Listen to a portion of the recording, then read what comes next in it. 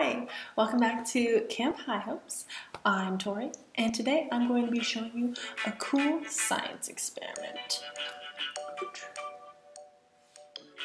This isn't it.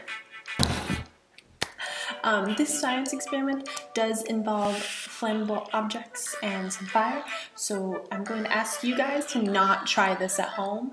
This video is just for you guys to watch and enjoy the cool chemical reaction that is going to happen. So a little bit on how this experiment works. Fire needs two things to burn. It needs oxygen and something combustible. The something combustible that we used was alcohol. The chemical structure of alcohol makes it extremely flammable, which means it catches fire easily. This is because the structure of alcohol makes it very easy for the alcohol to transition from a liquid to a gas. Scientists would say that alcohol has a low vapor pressure. In other words, a low pressure against turning into a vapor. When you burn alcohol, you are actually burning the vapor form rather than the liquid. When exposed to a flame, that vapor very easily ignites into a fire.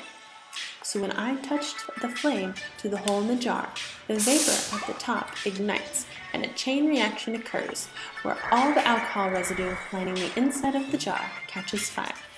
Then, when the oxygen in the jar is all used up, the flame can no longer maintain itself and it goes out because if you're missing one of the two things needed for a fire to burn, the fire will not burn.